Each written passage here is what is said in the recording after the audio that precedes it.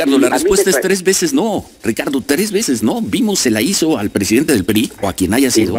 Se la hizo diez semanas seguidas. y todo el mundo dijo, todo el mundo dijo, ay, eso no está bien, pero qué divertido. se la hizo diez semanas seguidas a un político, utilizando los recursos públicos, y no le pasa nada a la señora eh, Sansores. Bienvenidos mexicanos a una videoinformación más de su canal Legión Vanguardia. Yo soy su amigo Alberto Mut. Y vamos a ver a continuación, ya vimos que Ricardo Monreal está desatado, amenazando al partido internamente. Y lo que hay que dejar en claro es que no es reciente lo que está haciendo. Ha hecho un golpeteo político desde hace mucho tiempo, en el cual obviamente no gustándole que no lo tomen en cuenta como corcholata, hasta hace un, hasta hace un mes el presidente lo mencionó, y fue que se calmó un poco.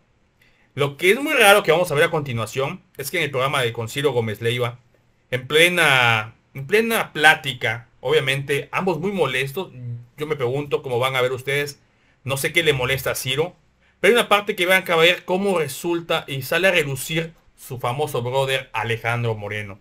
Al parecer le está doliendo mucho a Ciro que lo que le están haciendo a Monreal pues se lo hicieron a su super brother e inclusive lo increpa el de si se lo hicieron a Alejandro Moreno, que se lo hagan a cualquiera, como les voy a presentar a continuación. Ciro Gómez Leiva es claro que hace mucho tiempo que perdió su imparcialidad. Es un medio el cual estuvo muy bien pagado por los chayotes y obviamente en sus audios se llegó a mencionar que tenía un fuerte vínculo con el Alejandro Moreno, el cual nunca lo negó en su parroquia, inclusive dijo que tenía, si pueden ver uno de los videos que presentamos hace unos meses, donde inclusive dice que tiene unos audios más comprometedores de Alejandro Moreno. Pero se lo voy a presentar amigos y amigas. Es un video muy interesante. Vean cómo Ciro Gómez Leiva se molesta por los audios que le exhibieron a Alejandro Moreno. Quizá le recordó algo. Y no tanto porque a Ricardo Monreal lo están exhibiendo como el traidor de la 4T que es. Les presento mexicanos y luego lo platicamos. Con humor. Pero esto es extorsión, Ricardo. Esto es eh, amenazas y esto es... Parece una extorsión. Buen día, Ricardo Monreal, presidente de la Junta de Coordinación Política. Buenos días. ¿Qué tal, Ciro Manuel? Buenos días pues al menos es algo insólito o inédito, Ciro, porque no podemos admitir que la ilegalidad en la actuación de servidores públicos se conviertan en claves de éxito político.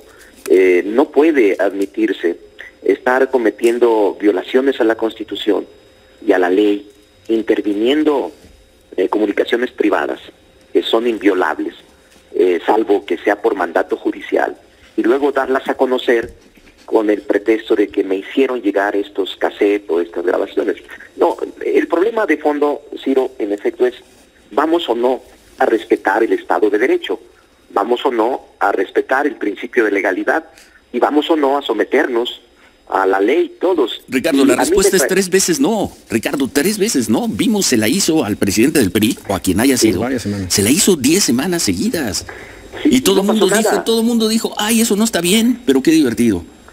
Se la hizo 10 semanas seguidas a un político, utilizando los recursos públicos y no le pasa nada a la señora eh, Sansores. Vino aquí el, fiscal de la Fiscalía General de la República encargado del tema y dijo aquí al aire eso es ilegal y no pasa nada. No pasa nada. Ese es el problema, Ciro, que nos estamos convirtiendo en un país donde la ley no importa, donde burlarla eh, es un deporte. Es yo soy poderoso y no me importa violar la Constitución y la ley.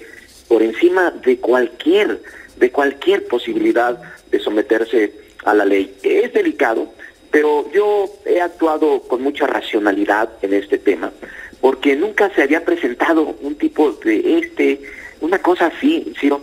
Yo estoy muy tranquilo, independientemente de lo que tenga, toda mi vida me he conducido con legalidad, hablo con todos los partidos, con todos los dirigentes políticos, así soy yo, no tengo ningún problema, estoy muy tranquilo, pero eso, te repito, no implica en que eh, aceptemos la ilegalidad, la violación de la Constitución eh, para efectos de carácter político.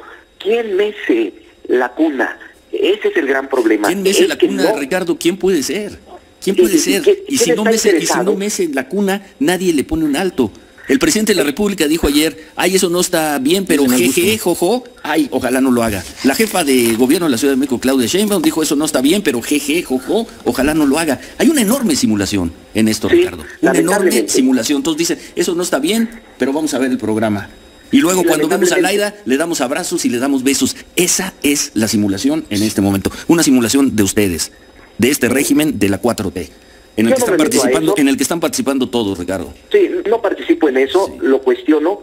Soy un hombre de derecho, soy un hombre formado en la universidad, soy maestro de la UNAM y por supuesto no admito que ese tipo de prácticas sean convertidas en éxito electoral. Es repudiable, es reprochable.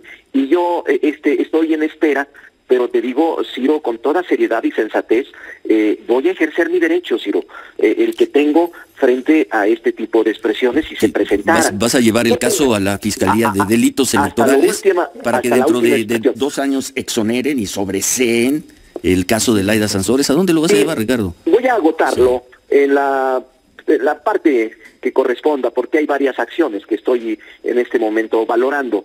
Pero ojalá y no llegase a ese extremo y se detuviera lo que tú dices, esta simulación que existe en este momento y en este gobierno. Ojalá y, la serenidad y la ecuanimidad lleguen a todas partes, porque será, Ciro, un camino sin retorno. Obviamente yo no lo voy a aceptar, ni me voy a dejar, ni me voy a rajar. Voy a ir hasta el final. Ayer el presidente relató lo que tú también viviste, lo recuerdo bien, era reportero ya con responsabilidades en los medios, lo que pasó en 1997. Y la gente sabe que me he enfrentado a presidentes de la República en momentos difíciles. Sobre mí han pesado acusaciones y han pesado expedientes falsos y al final la gente nos saca adelante. Ahora es el momento, porque repito, no es el estado de Campeche, no es la señora, es algo más profundo, es algo más fuerte si yo no les importara, ¿por qué tendrían que hacerlo de esta forma, descalificando, cuestionando, amenazando, insultando? No lo entiendo porque piensan que la seguridad electoral está de su lado, están equivocados. Quienes piensen que será un día de campo la elección del 24 y que eso es simplemente una anécdota, no, yo creo que esto puede iniciar el proceso eh, de ruptura, un proceso en el que no va a ser fácil que se corrija y están pensando los adversarios internos míos, los militantes de Morena, que aspiran a la misma posición a la que yo, que liquidándome previamente se alzarán con la victoria y se alzarán también con el triunfo electoral. No, así comienzan los grandes movimientos de ruptura lamentable, mm. los que han sucedido históricamente en todas partes, en esta purga interna, división interna, existencia de facciones, lucha y ambición por el poder sin escrúpulos. Ese es el tema de fondo y en eso estamos situados, pero yo espero que hagan caso del llamado de ayer del presidente de la República, quien respeto y que yo admito que tiene razón en su llamado a todo el país. Sí, llamado al presidente le hacen caso en todo menos en algunas cosas. Por ejemplo, en esta no le hacen caso. Y el presidente no dice nada y cuando va a Campeche, quien no le hizo caso le da abrazos y le da besos. Ahí está, ahí hay una gran simulación, pero bueno, entiendo, no hay que hablar mal del presidente y demás. Tú sabes muy bien, yo tengo respeto por el presidente. Tengo, ayer lo dijo él, 26 años acompañándolo y han sido tareas muy difíciles y muy ingratas. La mayor parte del tiempo ha sido cuesta arriba y nos hemos mantenido el movimiento, pero nos debemos mantener hasta que la dignidad nos lo permita.